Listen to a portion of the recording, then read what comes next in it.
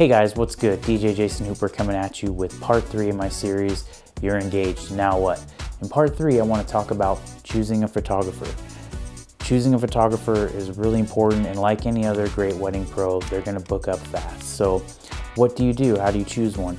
Well, start online, start Googling, start Facebook, start Instagram, and look for photographers in your area. There's a lot of photographers, so you're going to find a lot, but you need to narrow them down. How do you do that?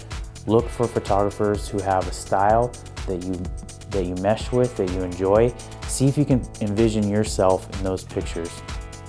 Once you found a few that you uh, really, whose style you really enjoy, um, reach out to them, contact them, email them, give them a call, tell them a little bit about yourself, about your fiance, and about your wedding, and also ask them a few questions if you have any.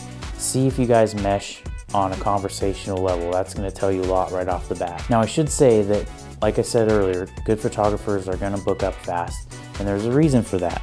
They have experience in weddings, they have the skill to get the shots they need, and to also edit those pictures after your wedding to make them really pop. And they're also professional. What do I mean by professional? Well, professional means that they're going to be appropriate at your wedding with your guests because they're going to be around a lot.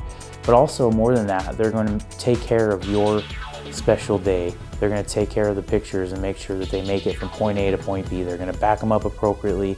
Those things matter. So when you are asking your photographer about what they do, make sure that they do those things.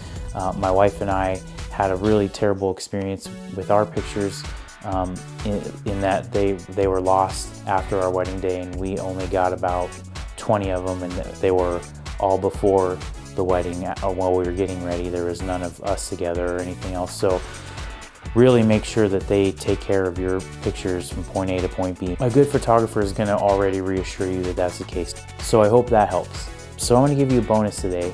Choose a videographer.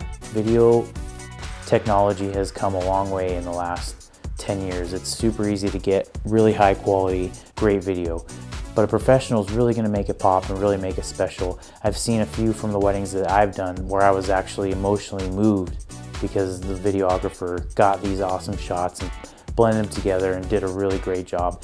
It's really the best way to relive your wedding day. Um, I wouldn't choose a videographer in lieu of a photographer. I would always have pictures because pictures are great and they do really say a thousand words. But if you have extra in the budget or you're, you're really wanting to have that, go with a videographer with the same steps. You know, search them online, check out their albums, check out their work, and uh, go from there. So guys, that's it for this video. I hope you guys have had a great week. I hope you have a great weekend. I'll see you on the next one.